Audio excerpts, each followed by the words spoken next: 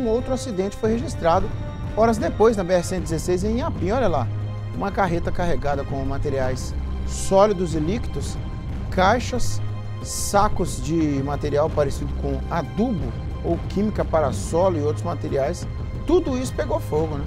É, durante os trabalhos de combate ao incêndio, os bombeiros verificaram que, além do combustível diesel do veículo, os outros líquidos da carga derramaram né, e tomaram fluxo da captação pluvial da rodovia.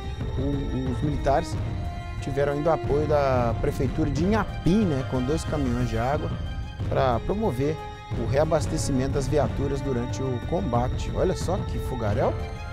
É, esse combate às chamas durou aí quatro horas né, e o trecho segue de forma lenta nos dois sentidos. Está aí, região de Inhapim. Né? Continua lento lá, Jarão, pelo jeito? Está desde ontem isso lá, né? Olha, era noite já.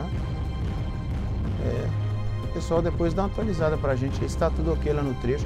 É, tem que tomar todo cuidado, porque às vezes a pessoa fala, ah, deixa eu passar no cantinho ali, policial, que eu tô com pressa. Ah, não pode, ué. O negócio tem uma explosão ali, alguma coisa, aí é risco para todo mundo, né? É.